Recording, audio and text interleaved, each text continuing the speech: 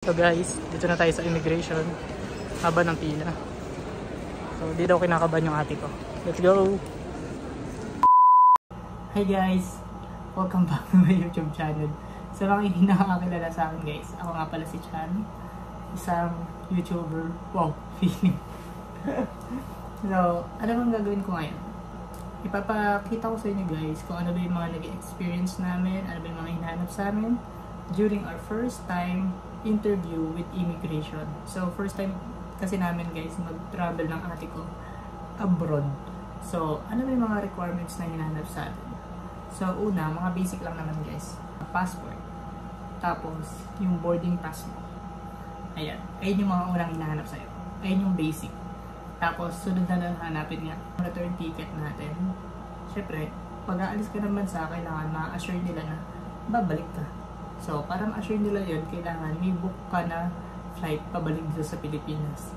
So, sa case kasi namin guys, sinabi ko na kagad na uh, Tri-City yun, yung tour namin.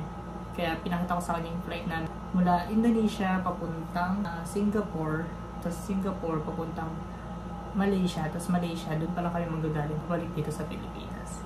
So, ayun. Kaya bumad ka agad sa kanya. Tatlo yung ticket na pinakita ko sa kanya. Tapos naman guys, after nun, ang hinanap sa amin is yung hotel reservations. Siyempre gusto nilang malaman kung may tutuluyan ka ba doon. Di ba? Para at least alam nila. Hindi yung pupunta ka doon para mag-work. Pupunta ka doon para magbakasyon. Tinanong muna pala kung student ba ako or worker. Sabi ko syempre, working na ako.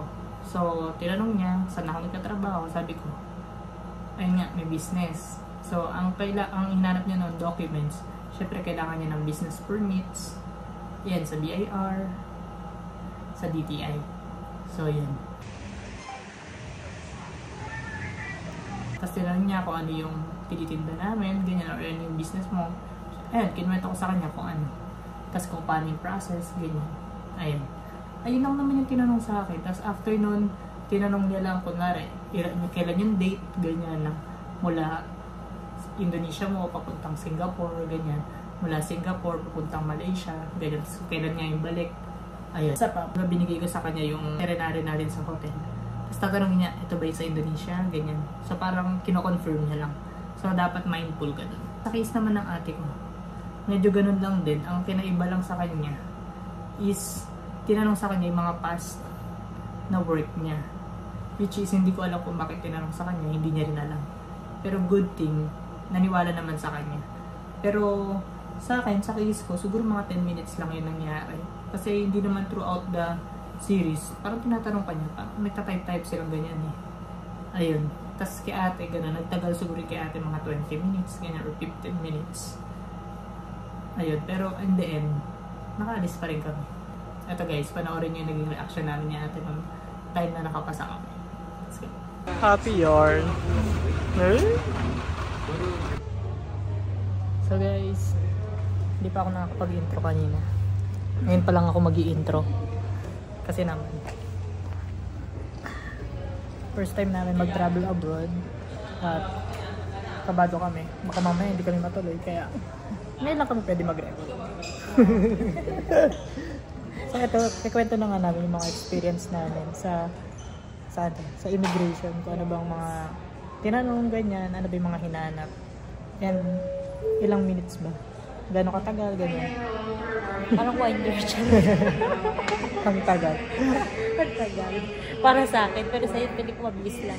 Oo, oh, pero ano yun, to be fair, yung mga horror story naman ng mga nangyari sa immigration, parang wala naman. No? Hindi naman, mababait naman sila doon. Wow. Hindi totoo mabait sila doon. Tapos mga basic question lang, ganyan. Yung mga kailangan lang nilang hanapin, ganun. Kunyari, yung yung hotel accommodation, oh, hotel accommodation mo, ganyan, ticket, round trip ticket, sino ganyan. kasama mo. Yan. Tapos kung kung nag-work ka or na business ka, ganyan. Ang napatagal lang talaga sa akin talaga yung kung ako ba bakit hinanap yung saan ako nagtrabaho. Oo. Oo, dati. Mm, pati yun din. Oo, ano? pati yung last last pa. Oo. Before pa nung huli, tapos isa pa. Kaya ako nagtagal talaga. Oo. Sa akin naman wala naman. Basic questions lang. Sasabihin mo lang talaga yung totoo. Tapos, easy lang naman yun. Tapos, syempre dapat ano ka, sure ka sa mga dates, ganyan. Tinatanong, sa akin kasi tinanong specific yung date. Hindi. So, ito pala. Sobrang aga namin. Aga namin. Anong oras pa Hindi lang? mo una pang flight bago. 11.15. Ang flight namin, 3 3 a.m. Na-adjust kasi 3.45 talaga yun sa ticket namin. Tapos nung pag-check-in namin, lumabas doon, boarding namin 3, 3 a.m. No? So yun, nauna pa kami sa mga...